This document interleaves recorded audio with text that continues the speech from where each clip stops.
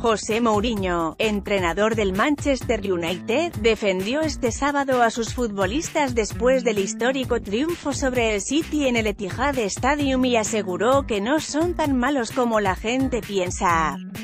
Los Red Devils amargaron la fiesta de sus vecinos que necesitaban una victoria para coronarse campeones de liga, con un doblete de Paul Pogba y un tanto de Chris Smalling.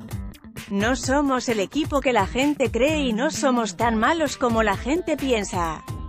Tampoco soy tan mal entrenador como dicen, hemos ganado al Liverpool, al Chelsea, al Manchester City. Somos el segundo mejor equipo del país, señaló un visiblemente satisfecho Mourinho al término del duelo. El objetivo era conseguir los puntos, no amargar su celebración, la pregunta ahora es ¿podemos mejorar para alcanzarlos la temporada que viene?, sostuvo.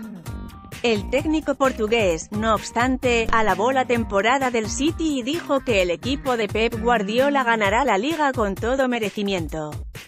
Matemáticamente necesitamos seis puntos para acabar entre los cuatro primeros por eso este triunfo es importante, nuestro desafío es acabar en segunda posición.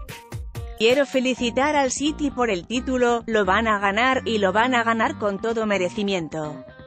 No le han dado opción a ningún equipo y han tenido una campaña en la que no han parado de ganar, añadió.